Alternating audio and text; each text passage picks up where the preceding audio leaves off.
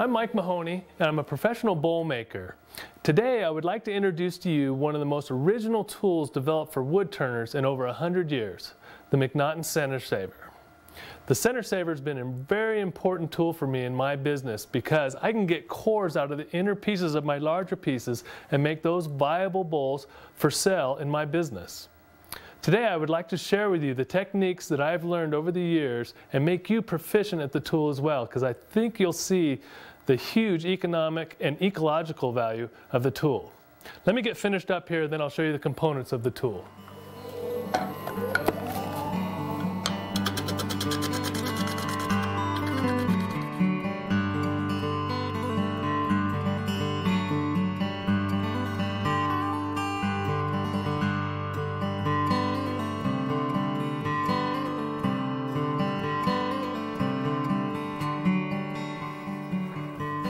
Much the full array of tools that comes with the McNaughton Center Saver.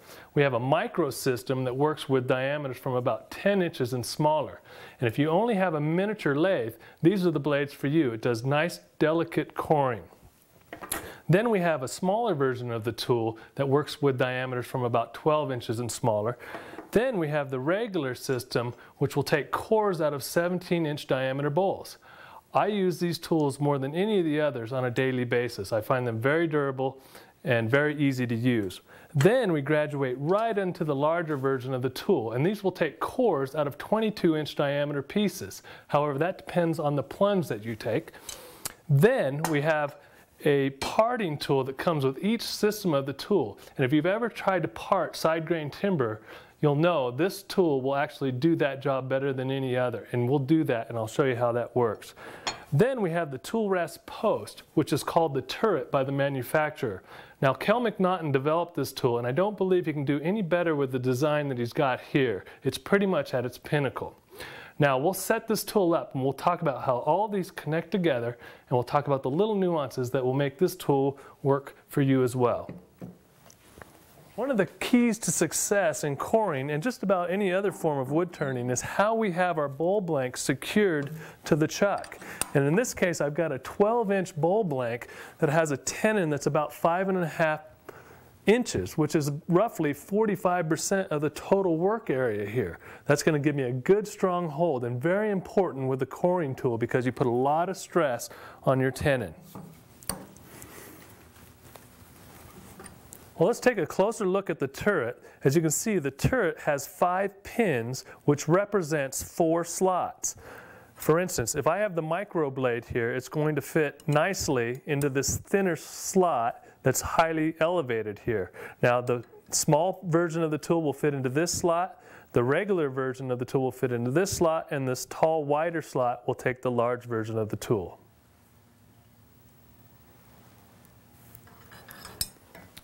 What I'd like you to do when you first get the tool is set up the system and then put the blade through the tool rest support and the correct pins. Then you can lock it up, get it good and tight here, then get the feeling of how the tool glides through those two pins.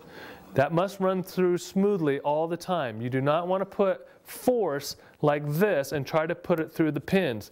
You'll find friction there. So the tool must run efficiently through those pins while you work with it. While I'm working with the tool, I like the turret to run freely like this. The turret also has a set screw there that you can lock it into place, but I've never really found that that works good for me. Okay, to set up the tool now, I'm going to choose the curve that's appropriate for my coring job. All the blades will be done just this way. I put it through my tool rest support here, put it in the corresponding slot that fits with this tool, and then I'm going to loosen my turret, and then I'm going to make sure the tip of that tool drops right at the dead center of that blank while the tool is locked underneath the tool rest support here. Then I'll tighten it up good and tight, and that's exactly the elevation that I need for coring. One of the biggest problems beginners have with this tool is while they're working, they'll let the tool drop underneath the tool rest support. And when you hit the wood, you'll get a catch.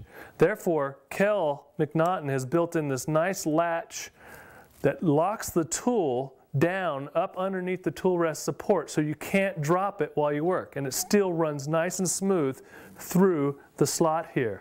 A great innovation.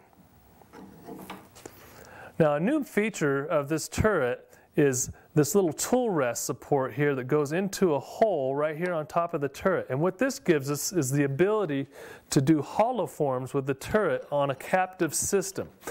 Therefore, if you're going to do hollow forms, your tool will sit onto this tool rest support and be captured underneath this. Therefore, we're not getting any upward torque while we work. An incredibly good idea. And now you're getting two tools for the price of one, a captive hollowing tool and a coring tool. A couple recommendations I have when you're just setting up this tool for your first time is I wouldn't use a fancy bit of burl to get started. I would get a scrap piece of wood to build up your skills before you get onto that prettier wood couple other things I'm thinking about is am I trying to achieve a fancy nested bowl set like this one where I've tried to get as many bowl blanks out of a chunk of wood as I can?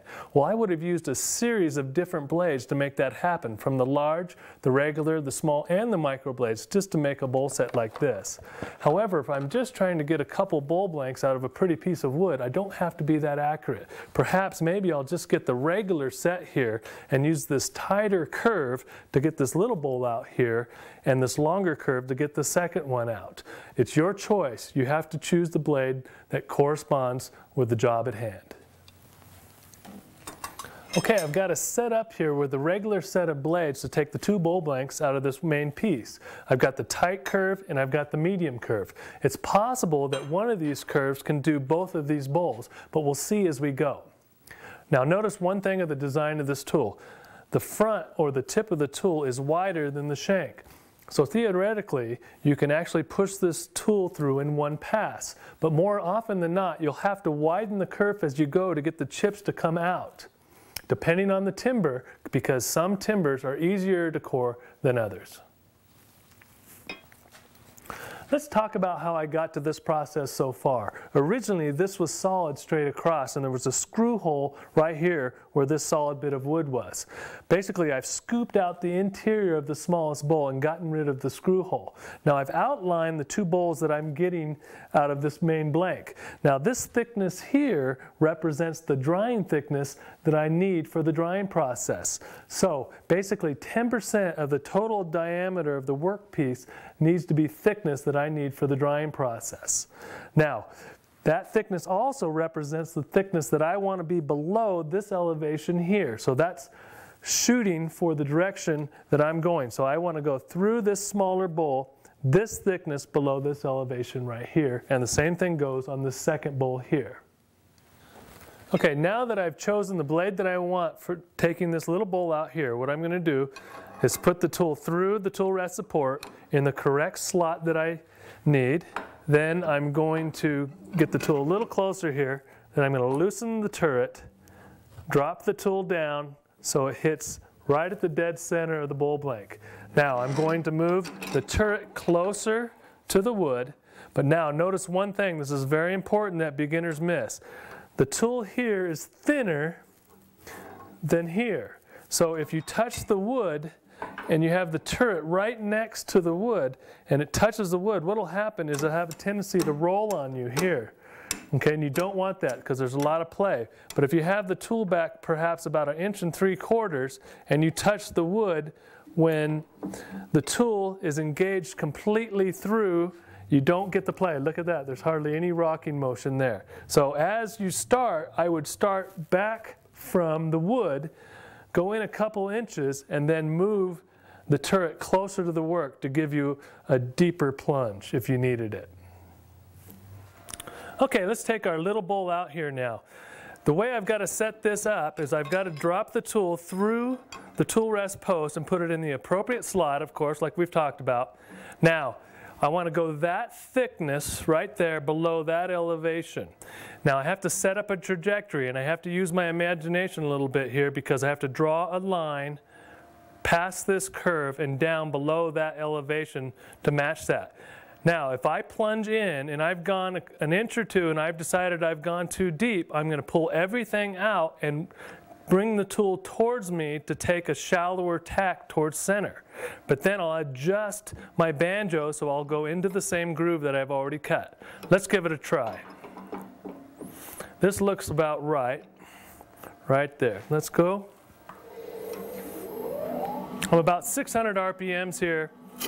Okay, notice I'm up underneath the tool rest post and I'm going to push the tool in straight ahead, nice and simple.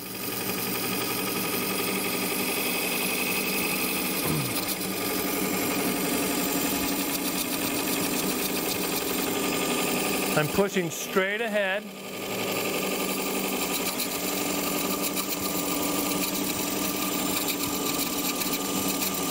Let the tool do the work. I can wiggle the tool back and forth a bit to kind of open the curve. That's fine. As long as these chips are coming out, that's great. Let's stop and check our progress.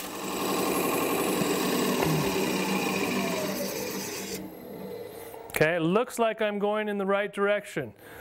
Now, what I'm going to do here is open up the curve just a little bit on the left-hand side. This will give a little bit more clearance for the tool.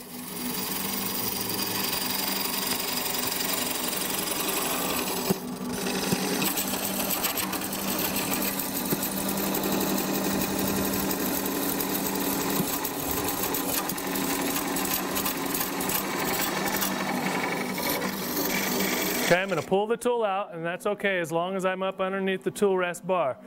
I'm going to stop and look at my progress. It looks like I'm going a hair too deep. Everything looks just a hair too deep, and that will hinder the possibility of getting another bowl here. So what I'd like to do is go shallower. So I'm going to bring the tool towards me, but now I can't get into that same slot that I've already got. So I'll adjust the banjo, and now I'm going to go into the same slot but take wood off of the exterior of the smallest bowl and work towards center.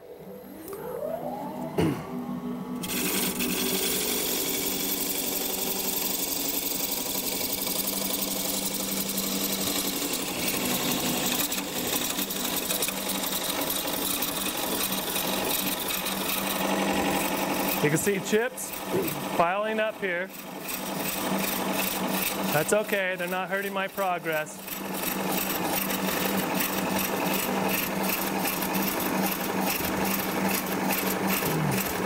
Okay, we're getting close.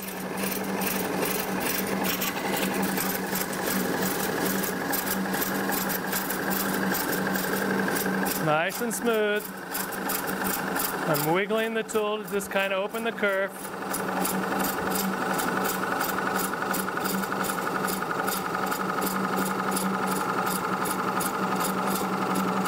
Okay, let's stop, clean out the groove. Okay, I'm going to put the tool right back where I left off, and this will tell you where you are. If you draw a straight line down the tool, I'm still about two inches from cutting through. So just draw a straight line and you can tell where you are.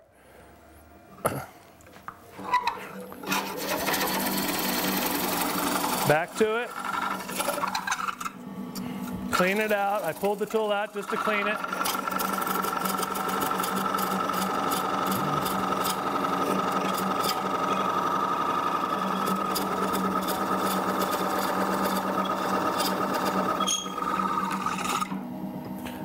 Gonna cut a little bit of this off of here and adjust the banjo.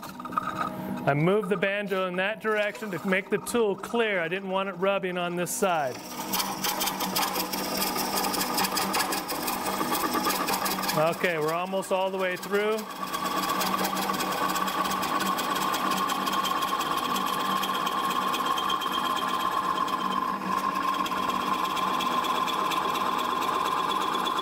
You can draw a line.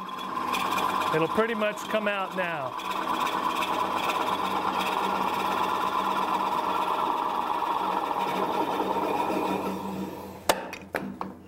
Okay, now let's take a look at that.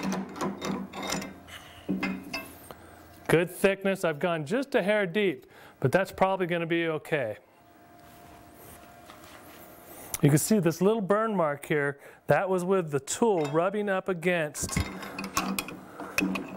the wall there as I was going through. So what I did is I pushed the banjo away from that wall right there to stop the burn mark. And you can also see here there's a ledge where I was going too deep and I determined that when I got to that point and then I backed everything up, pulled the tool towards me and took a shallower tack towards center. Therefore, I can get another bowl out because had I kept that same trajectory, I wouldn't been able to get another bowl. Okay, let's take the second bowl out now. I'm going to go to the medium curve of the regular set, get that good and tight in the handle. Let's take a measurement here to see how much room I've got. Well, I've got about two and a half inches before I come through the wood there, so there's plenty of room. Now I'd like to go this thickness below that elevation. That's what I'm shooting for. Let's put the blade in. I'm going to check for my center height just to make sure everything's good and tight. Good. Now let's set up to take the path I want. That looks like a good path right there. The more of these I do, the luckier I get. So let's start on that path right there. Okay, let's try this. Nice and easy. I'm going to touch the wood very softly.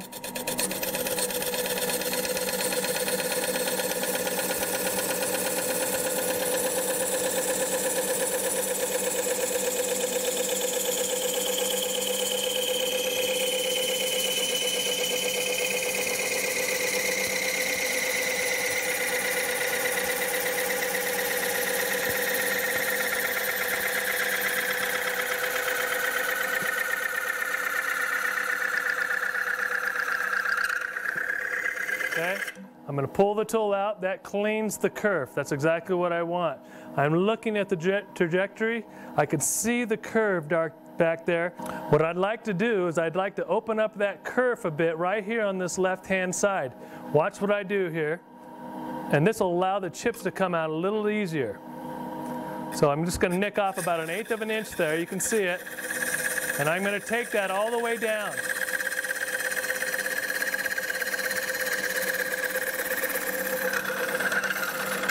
Okay, now let's get our turret a little closer to the work.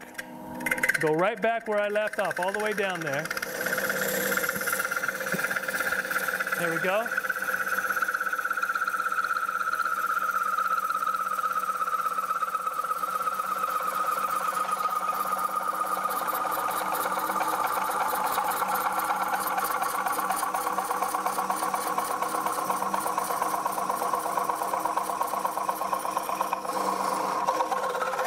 Okay, I pulled the tool out to clean it. Notice when I pull out, I'm always underneath the tool rest support.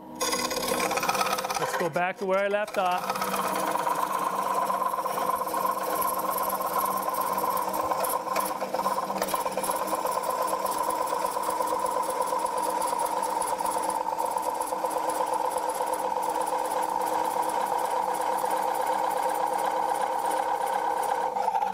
Clean out again, nice and easy. And now I'm going to use really soft pressure to go all the way through the center.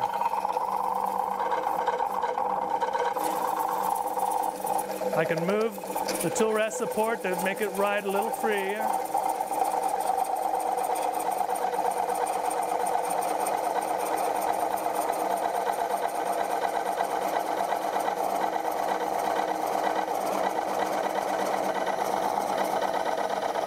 Just slowed up my RPMs because I'm almost close to being out.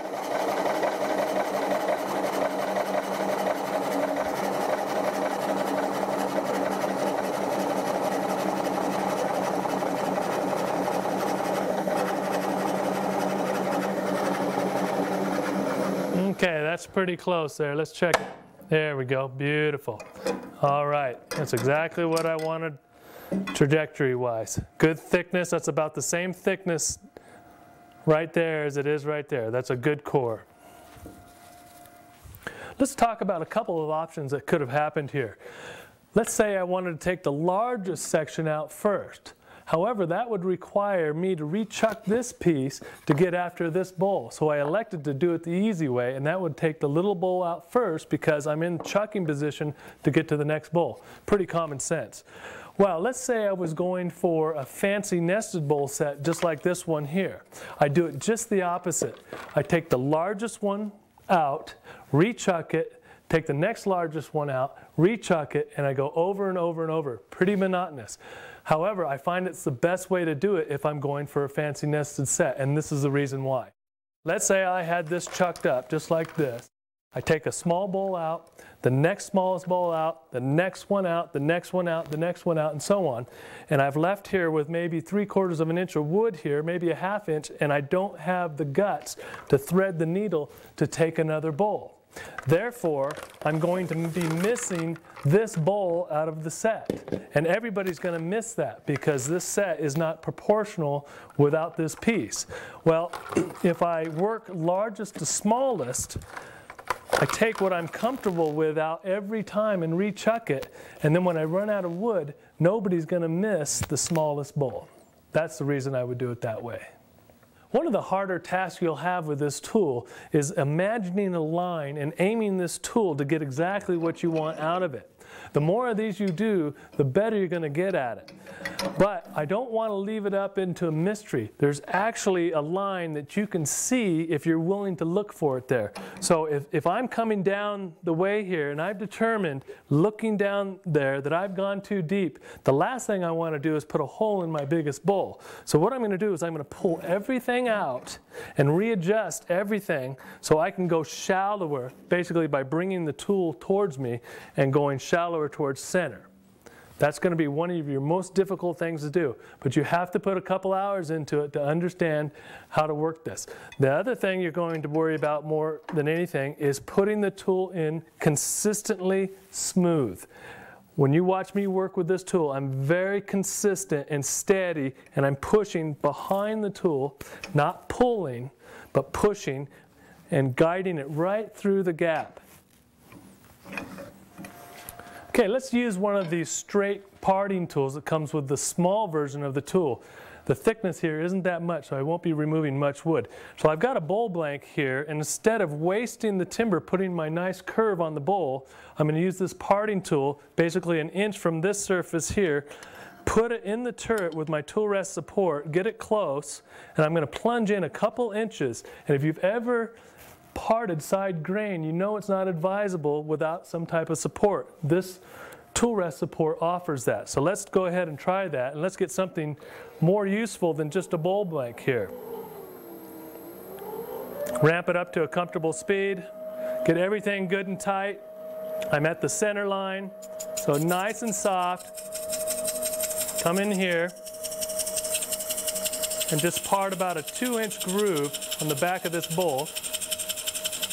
Very steady, consistent pressure.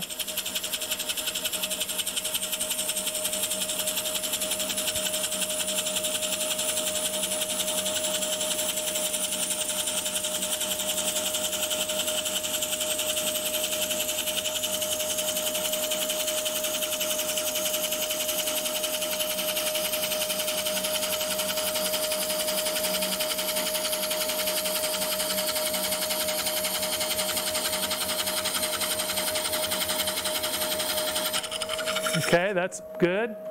Let's come around back here. Let's part this ring off and I'll get a nice little picture frame that I can use for another project.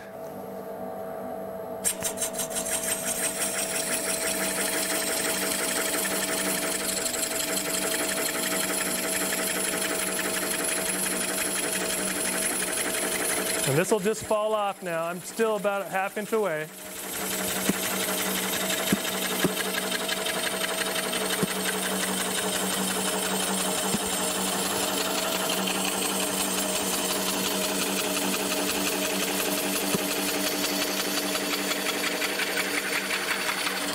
There we go.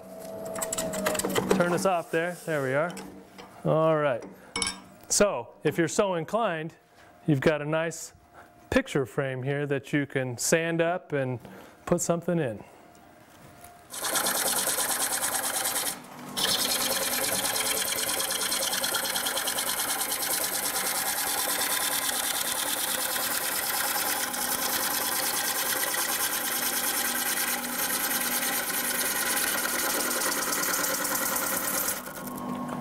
Cut a nice clean tin in here to fit in my chuck nicely.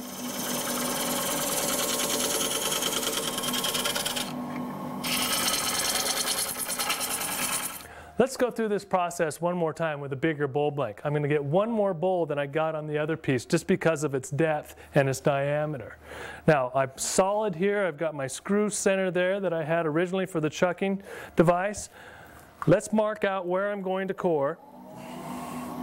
These bowls again are going to be roughed out and returned for later.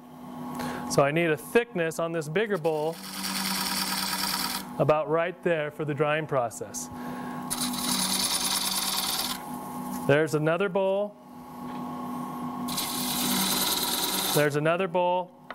And let's say there's another bowl right there. So four bowls totally from this one blank. Now I'm going to remove the inner screw hole here and reveal the interior of the smallest bowl.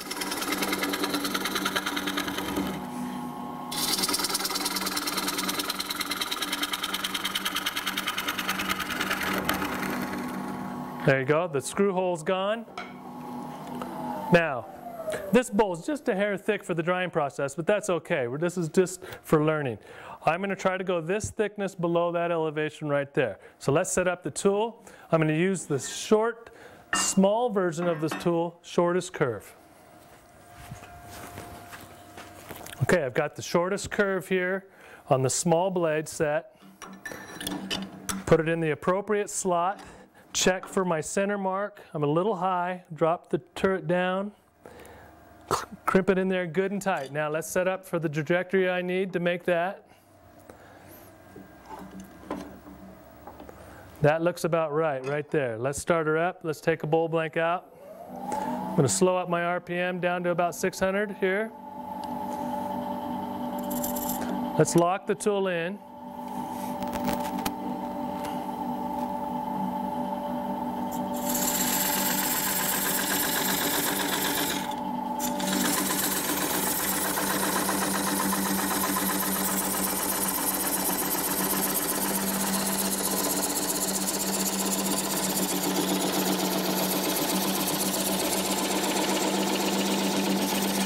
Wiggle it a bit.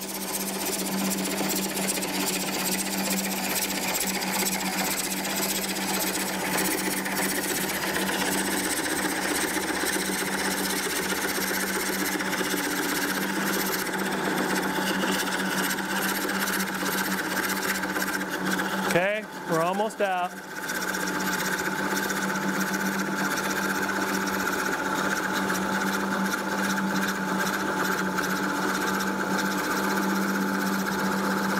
See if that breaks out right there.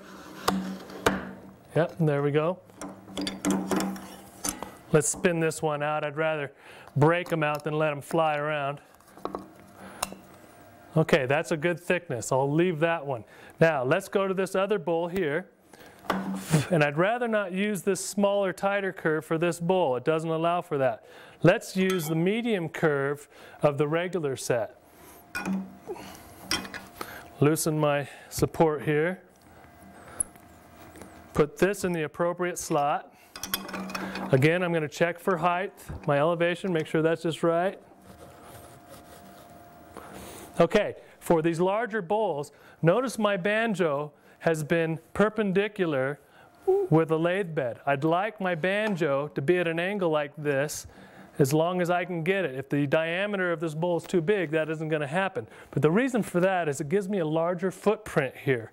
And what happens is it puts so much torque on the banjo that it can actually bend the cast iron. So by angling it like that, I get myself a lot more support. Let's go for bowl number two.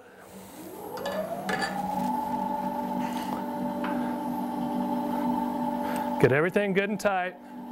Nice, steady, consistent pressure.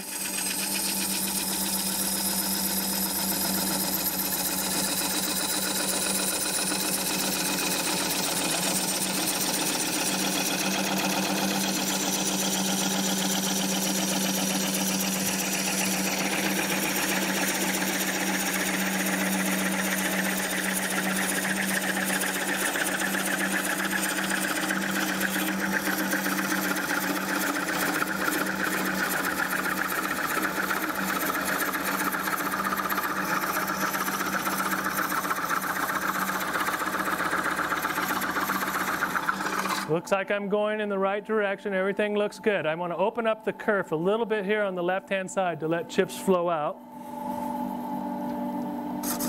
There it is. I opened it up. Now that'll allow chips to come out of that groove a lot better. Pulling it out to clean. A little more. You can see the chips coming out of the groove. That's a good sign.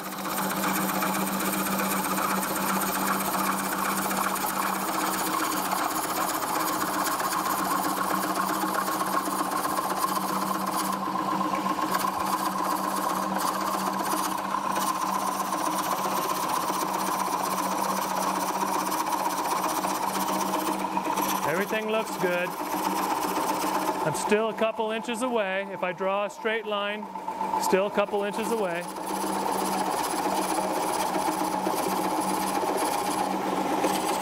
Let's pull it out to clean. As long as I stay underneath the tool rest support, I'm good. Put it right back where I left off. Move the tool rest a little bit so it'll clear easily. Okay, we're pretty close.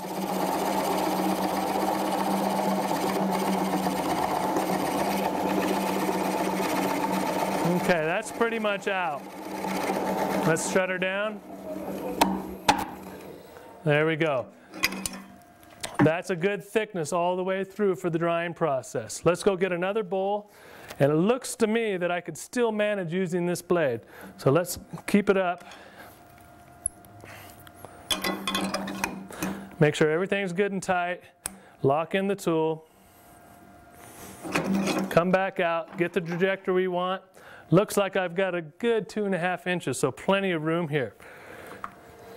Let's get the trajectory I want here. Lock it in good and tight. My banjo is at an angle, that's good.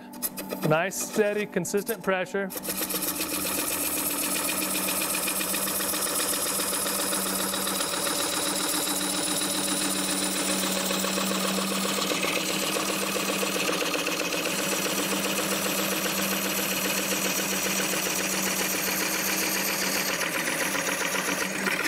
Pull it out. I'm going to open up the kerf on the left-hand side to let those chips clear out easier.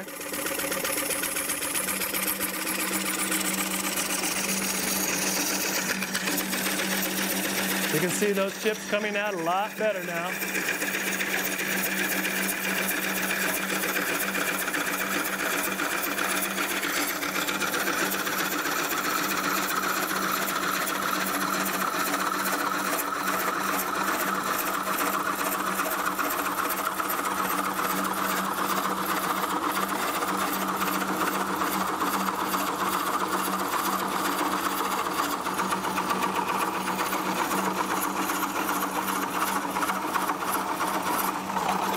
To clean out. Okay, let's go right back where I left off. Let's just kind of fishtail the tool all the way down.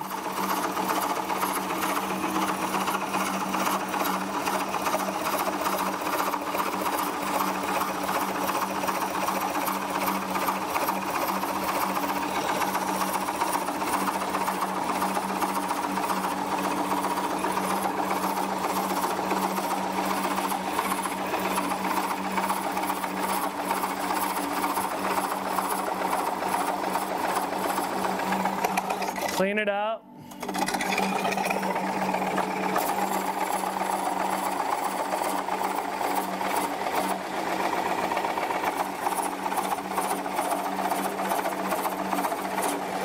Check to see if I'm still good and tight. I am.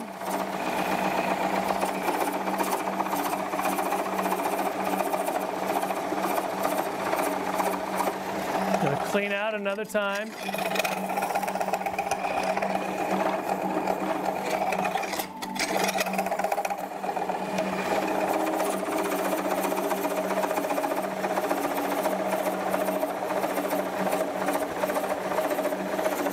Couple inches away yet.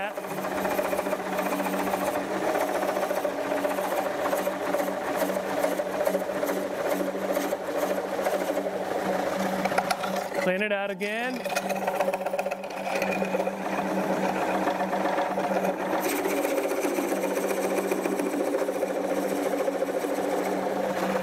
One more time.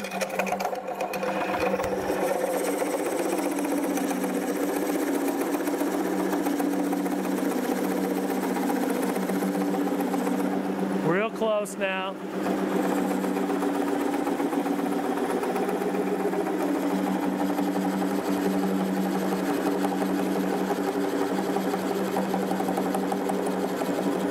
Okay, let's check that. Okay, and that's a good thickness as well. It's at least that thick right there. And I still have plenty of meat down there in the bottom. This is all these bowls are ready for the drying process. Now the reason I did that in real time is I wanted to let you see what the possibilities are. It wasn't that difficult to do. The more of these you do, the luckier you get. Let's review on paper what's going on here. When I chuck up my bowl blank, I need a minimum of 40% of the total diameter to be tenon. I like 50% if I can get it. Also, when I'm coring bowls out, the longer the kerf here, the harder it is to get wood chips to come out. So what I'd like to do is nick off an edge and make a funnel shape so chips pile out through the centrifugal force of the lathe. Now if I've got off in the wrong direction, in the wrong trajectory, there's a possibility of creating a little cup here which will make chips clog up into the kerf area and it's going to slow your progress up considerably. So you don't want to do that. So always try to keep a positive curve for chips to flow out. Let's get on to something more technical. Let's put tenons on these crescent-shaped bowls that we took out of the main piece. I wouldn't put a tenon on these until they actually were dry. But let's consider these as dry. What I would do is just take this crescent shape, throw it right up against the chuck there, put it as close to center as you can, just like that.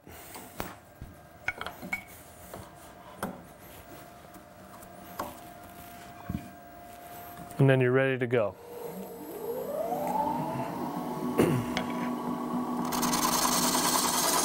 There you go, that's the tenon for that bowl.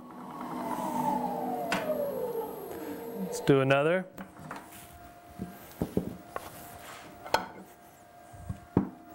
Again, put it right as in the center as you can get it. There we go.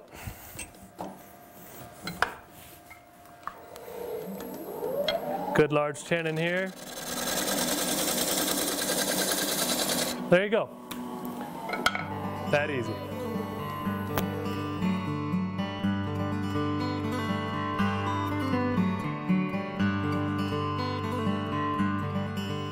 Well, let's get on to making a natural edge nested bowl set. What I've got here is a piece of California lilac. It's a very rare burl, hard as a rock.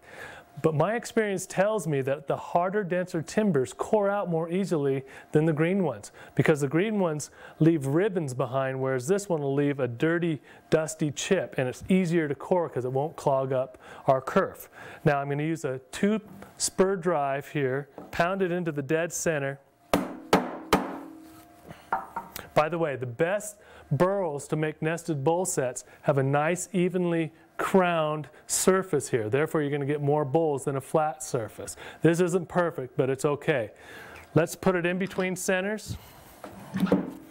I'm just going to carve a bowl shape out of it, put a large tenon on it, and I'll show you the process of how I would do this.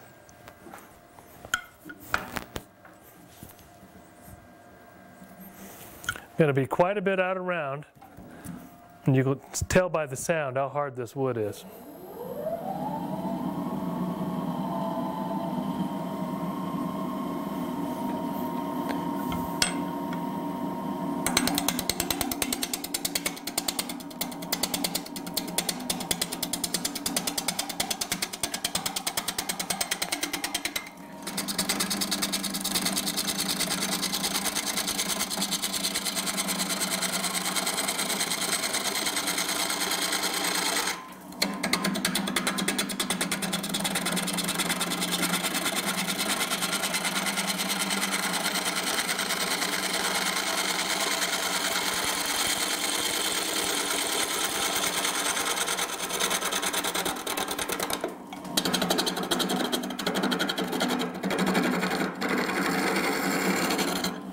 Okay, I want to balance my natural edge. So when it sits on the table, most of the edges are balanced. Just taking the path here to see what has to move. It's fairly balanced right now. Let me take a couple more passes and get a more of a bowl shape and then maybe have to make an adjustment.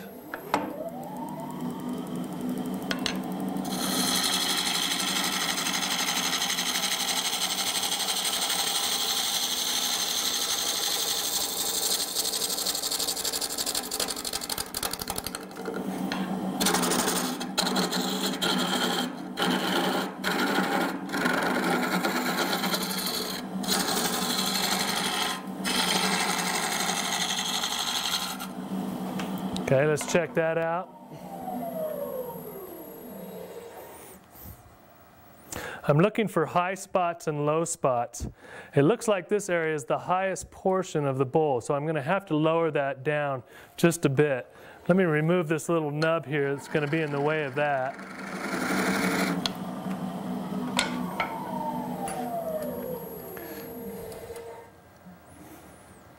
Okay, this is the high section here. Let's drop that down. I'm going to have to break this nub off here. There we go. You can see it's a beautiful wood. Let's put that back.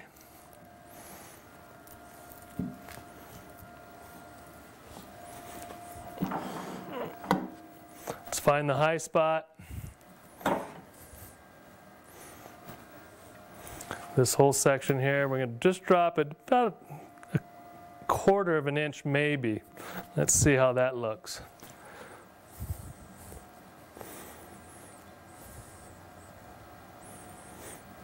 It's just a hair too high still right there. Let's drop it down. There we go. Let's see what that looks like. Okay, that'll just make it look nicer when it sits on the table. Now let's put a large tenon on it.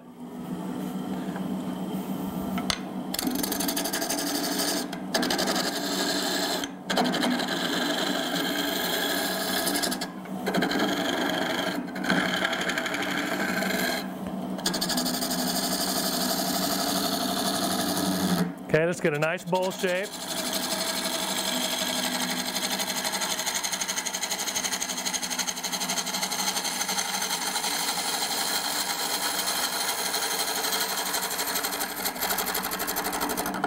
Okay, let's make sure my tenon's nice and clean.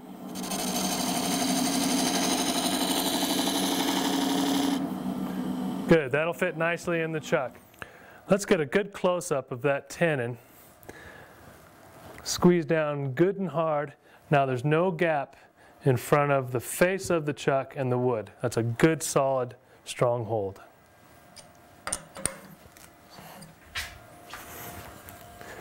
Okay, I'm going to get a nice clean surface over the exterior here, and then I'm not going to ever come back to it. I'm going to core out the interior right from there.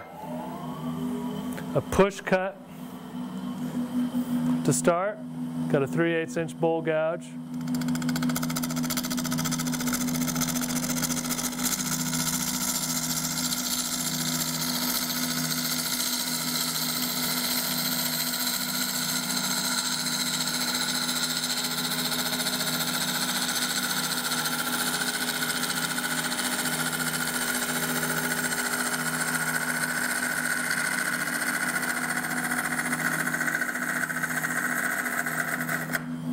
Okay, that looked like a good curve I've got. Let's see how clean the wood is.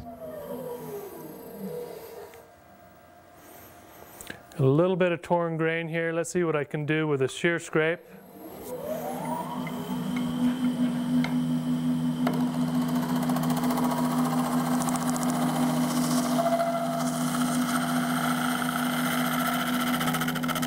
I got to get this area pristine because I'm not going to want to cut back on it once I core out the interior.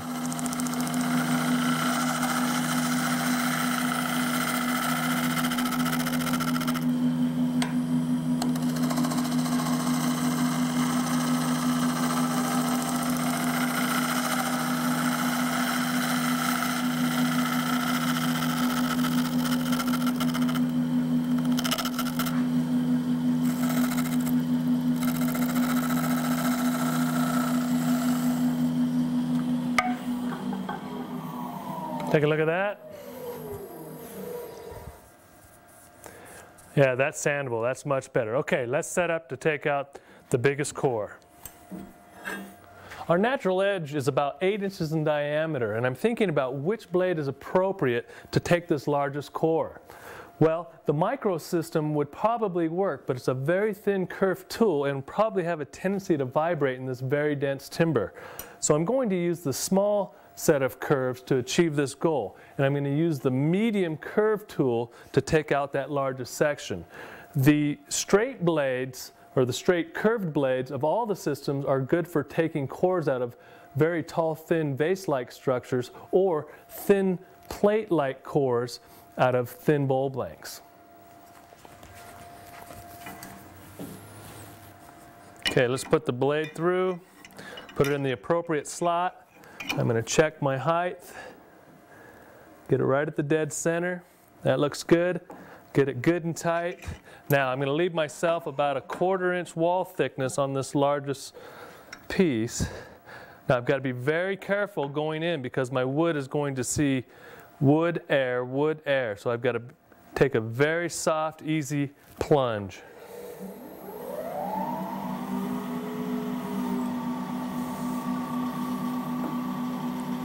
Get my planned curve out. Let's go in. Lock the tool in, it's locked in good.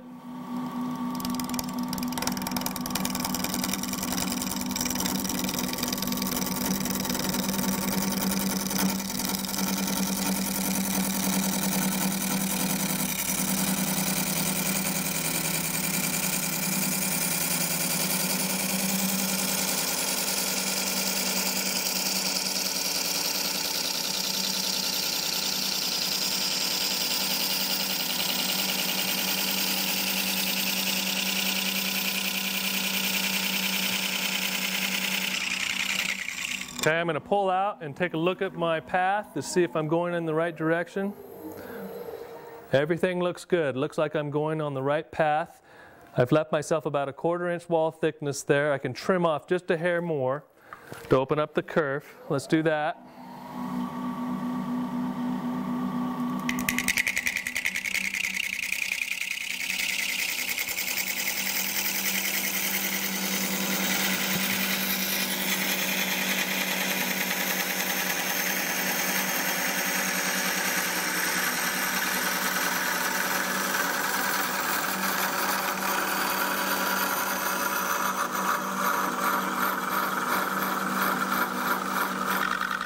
Okay? Pulled out to clean it out. Let's go back in where I left off.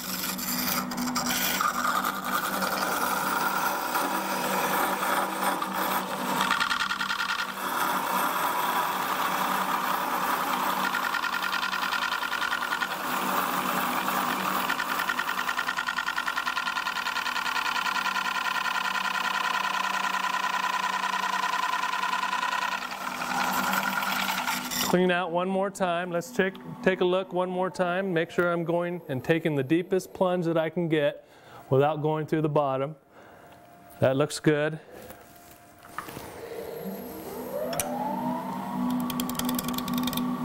Go right back down to the bottom.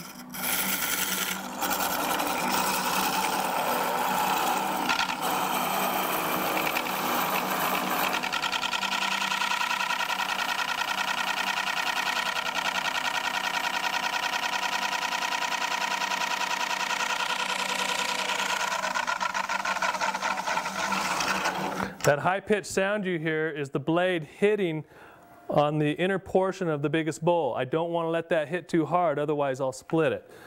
But I'm real close to coming out now.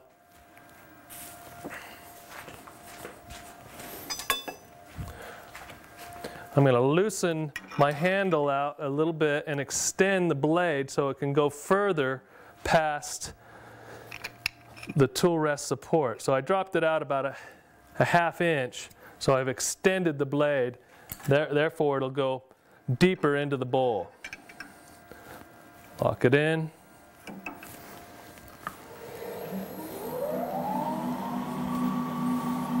Got my turret a little closer to the work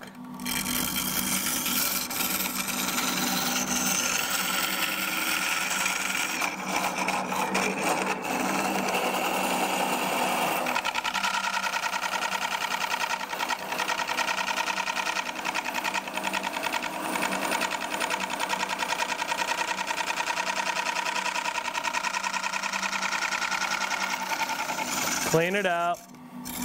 Okay, I'm real close.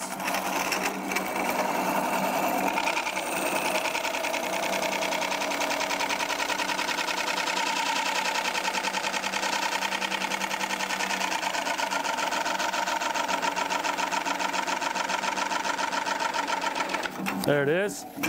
Whoop, there we go. All right, looks good.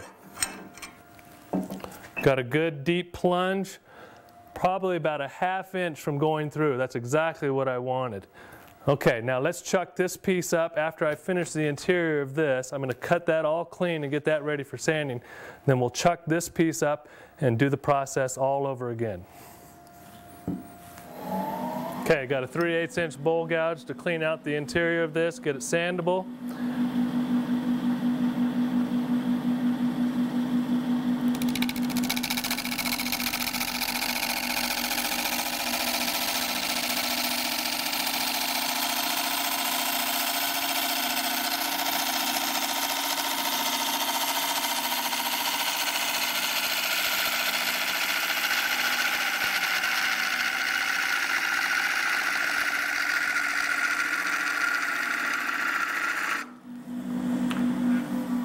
Let's check my wall thickness.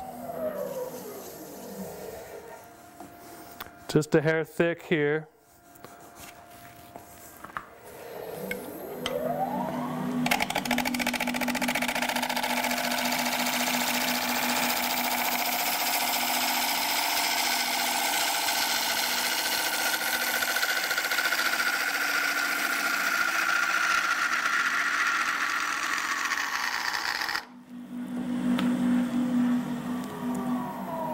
Check that.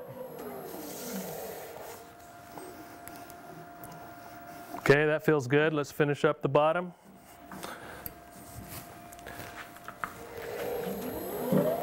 Got a half inch gouge here with a traditional grind. Let's put a nice curve in here.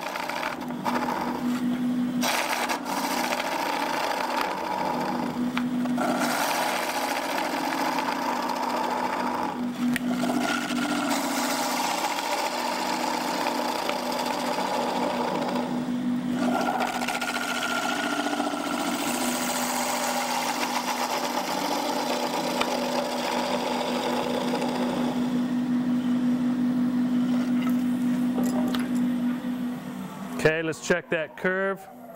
Check my depth.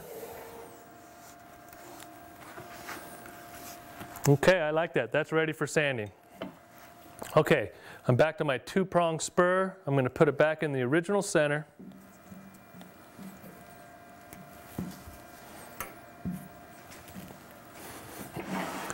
Put the tailstock in the dead center as close as I can get. I missed it just a bit. Okay, let's put a tenon on it.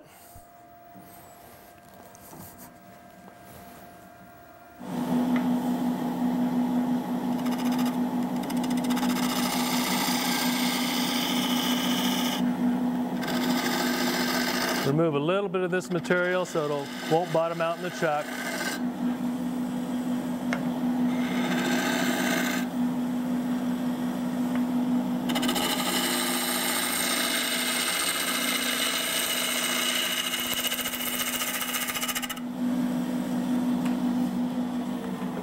Okay, let's flip it around and core it. Let's clean up the exterior now and get that ready for sanding.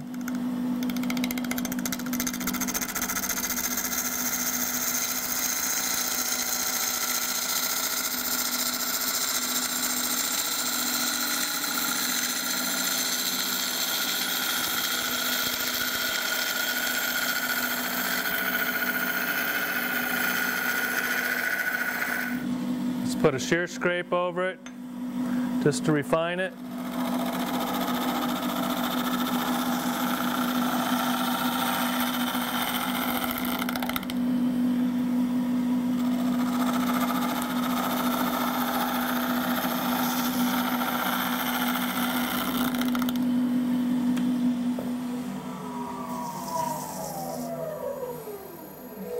All right, that looks good.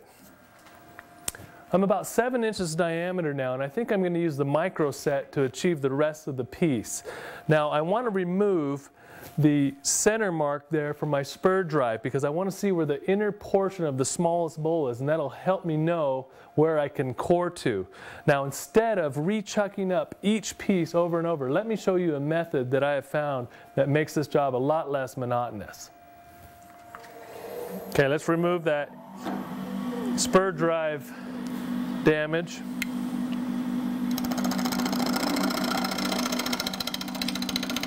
Hopefully it doesn't go too deep.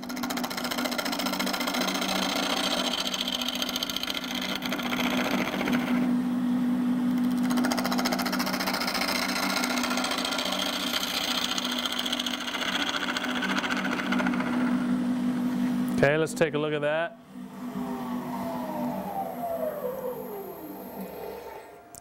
Yeah, that looks okay. That's the, let's just call that the inner portion of the smallest bowl. Let's set up to take the rest of the cores out.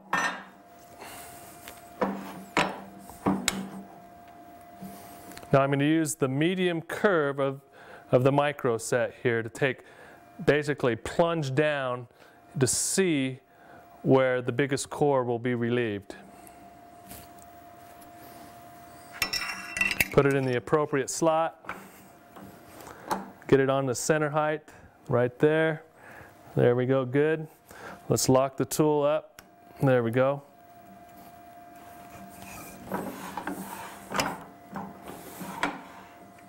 Again, I'm going to take about, think about leaving a quarter inch wall thickness. That looks good.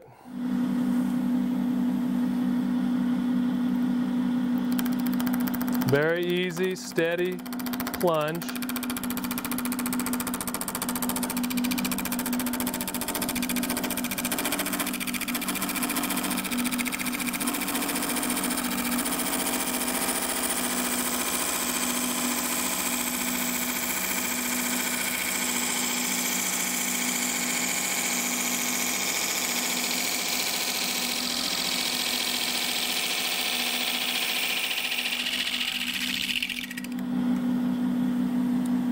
It looks like I'm plunging fairly deep with this medium blade. Let's think about using the tighter curve here. Let's go back to it. This is the tighter curve.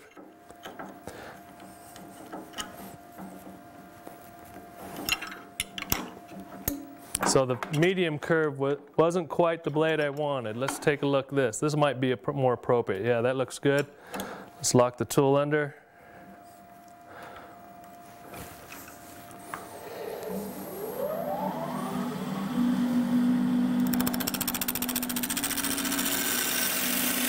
This will get me around the corner better.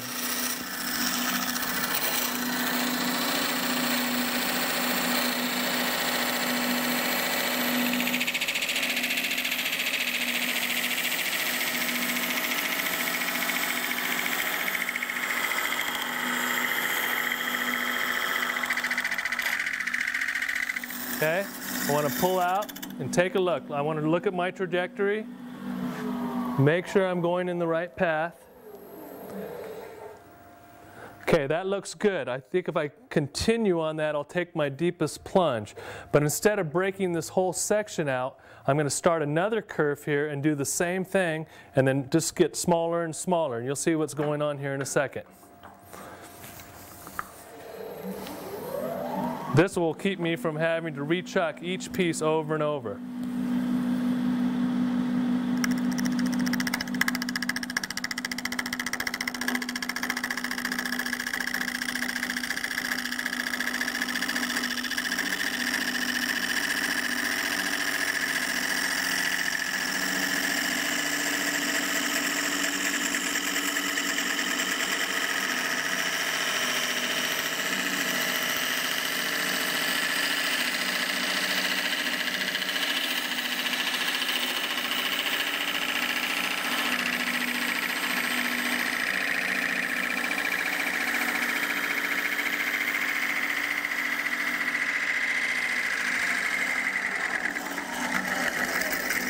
Okay, let's check that. I'm looking at that plunge. It looks good. I'm leaving myself uh, about three inches before I part the whole thing off. But I'm in the right trajectory to make all this work. Let's go to another bowl.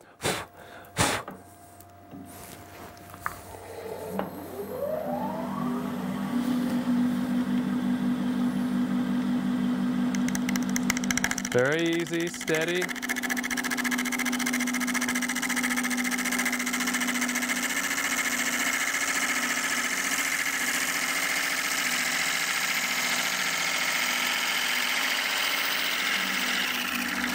Going a hair bit too deep on this one. Let me take a different path.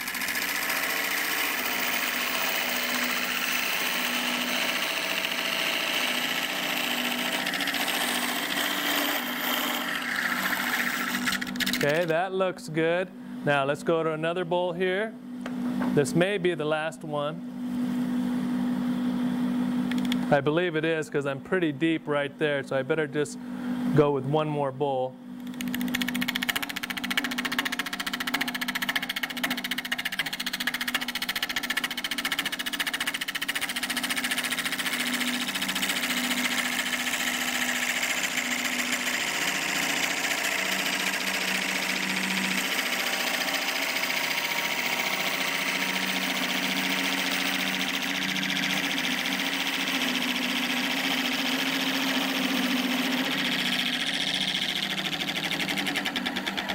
Okay, let's take a look at that trajectory there.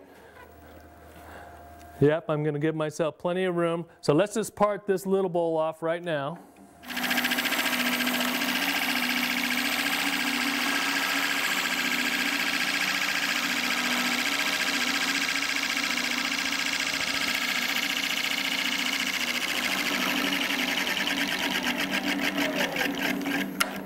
There we go. That's plenty thickness for another bowl. Okay, now I'm going to do the same thing with this one. Going just a hair thin here. I think I need to take a little deeper plunge, so I'll make that adjustment as I'm going down.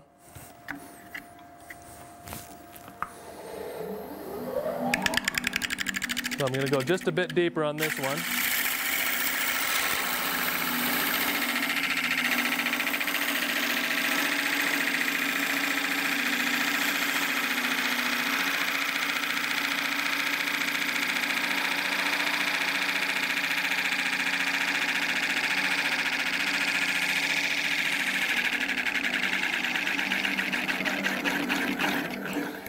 Okay, let's check that one. Good, I've left myself about a half inch there, that's good. Now, that looks pretty good, that trajectory I can pretty much keep the same.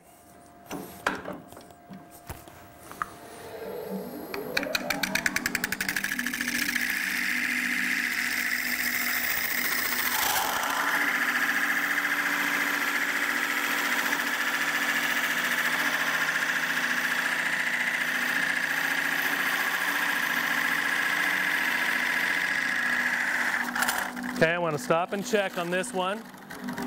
The curve's getting a little long there. It's hard to see. Let's make sure I'm going in the right trajectory.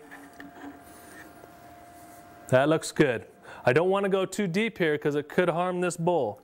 So it's got to thread the needle just right.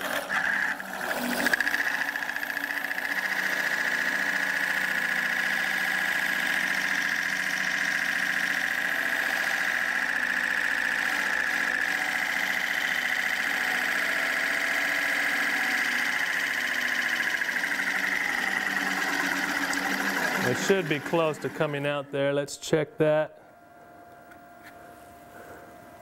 Just a bit more.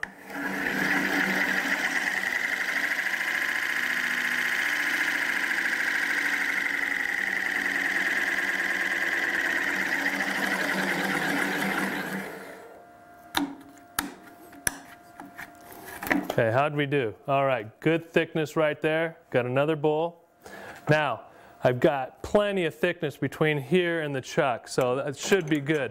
But I've got to extend my tool out a little bit further so it can travel further along the path.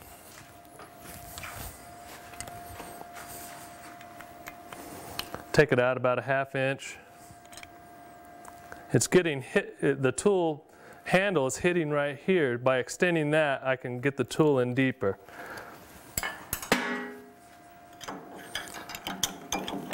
Okay, check my center height again. Now, let's take this other bowl out. That looks good. Put her back in where I left off.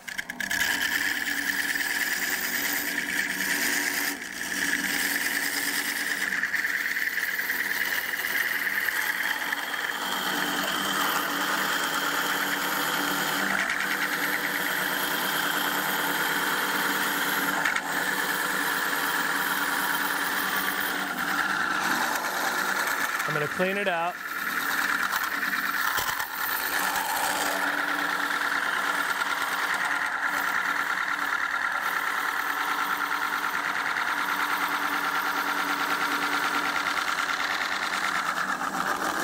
I'm going to clean it out one more time. A lot of buildup there. Okay, check my trajectory. Don't want to lose it now. Everything seems all right.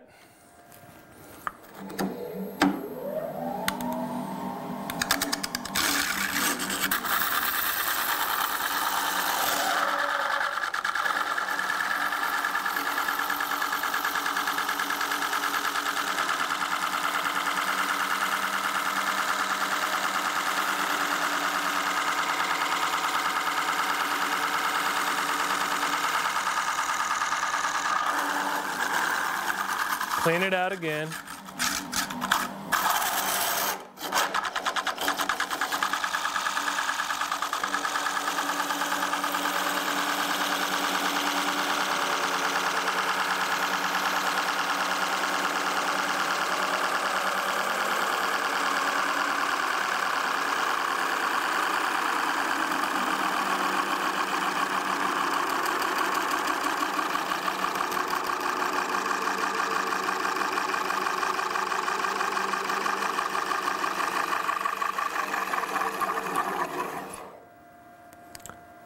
Pretty close here. I still have to extend the handle a little bit more because the tool handle's hitting. Let's back it up a bit so I can get a little bit more travel. That's all I'll need right there, a quarter inch probably, and this piece will come right on through.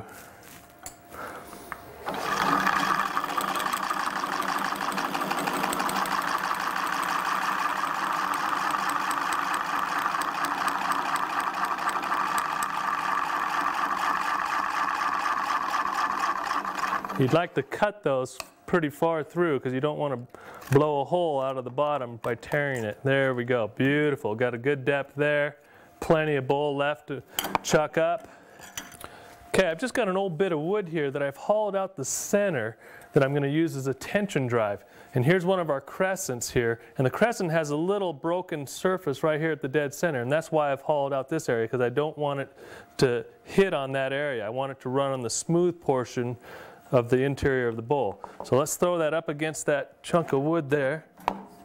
Put that as in the dead center as close as I can get it.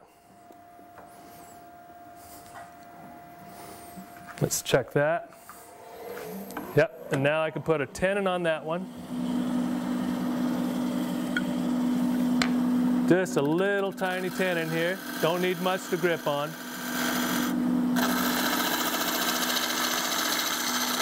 Okay, that's it. That's the tenon for that bowl.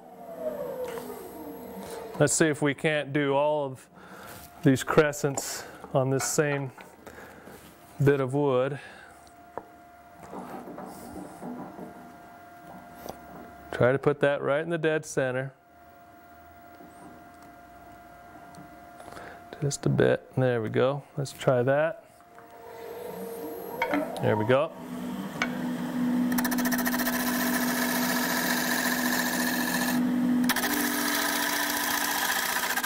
Okay, that's ready. Let's trim up a little bit here. There we go.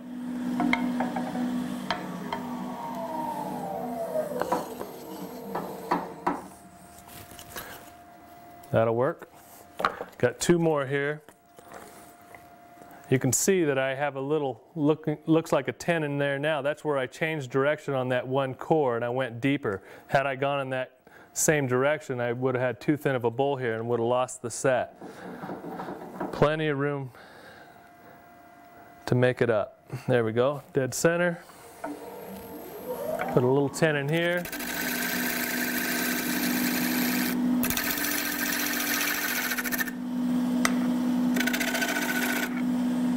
Okay, let's see if that little one will fit there. Here's our littlest core. Good thickness all around. Again, you can see where I changed direction. I was going too thin on this piece, I went deeper. Let's see if that'll fit on there. Yes, it will. Okay, let's put that right in the dead center. Delicate little piece there. Okay, a nice little tenon on this. And I have a chuck that'll fit that little tenon. There we go.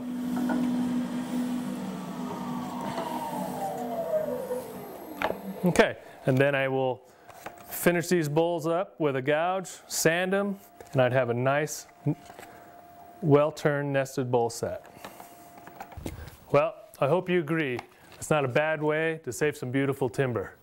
Well, thanks for watching, everybody, and good luck with the tool. I hope you find it as rewarding and as useful as I do.